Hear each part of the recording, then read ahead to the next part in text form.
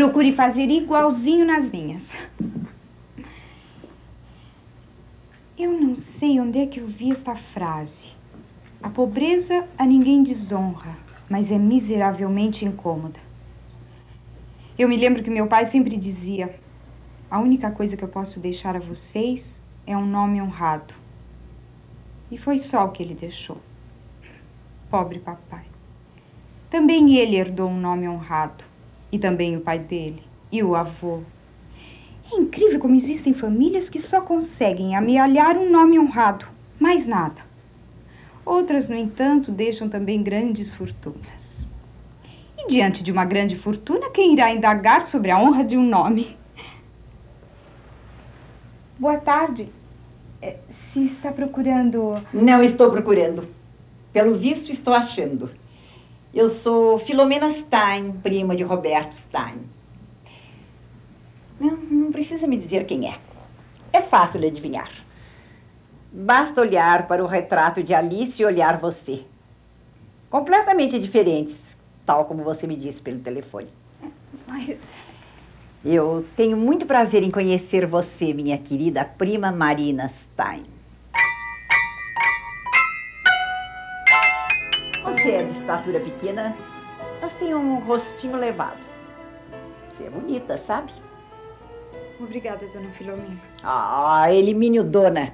Sou prima Filomena. Para me chamar de prima.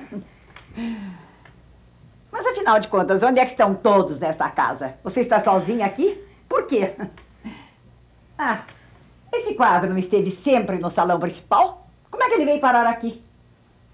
Ah, já sei. Você exigiu que seu marido tirasse de lá esse maldito quadro, não é? Fez muito bem, minha filha. Eu vejo que você está se adaptando perfeitamente. Eu vou lhe contar um segredo de família. Roberto, por exemplo, ele gosta de uma mulher de opinião que diga eu quero isso, eu não quero aquilo, eu vou a tal lugar, eu não vou a tal lugar. Mas eu vejo que você está se adaptando perfeitamente. Bom, mas afinal de contas, me diga uma coisa: onde é que estão todos nesta casa? Meu primo Roberto, os amigos e aquela governante antipática. E Germana? E aquele seu marido que mais parece seu filho? Ainda continuam enfiados nessa casa o dia inteiro? Mas o que, que você tem?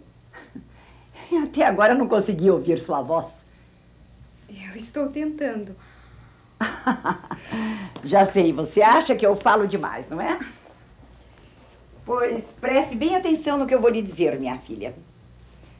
Alice sempre teve um pouco de medo de mim. E sabe por quê?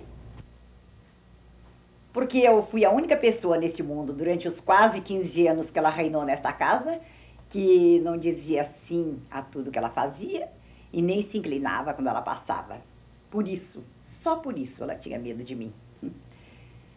Mas você não precisa ter esse medo, porque eu já vi que você não quer que as pessoas digam sim e nem se inclinem para você. Você me parece uma pessoa de carne e osso. Alice era mais uma boneca. Você está vendo esse retrato?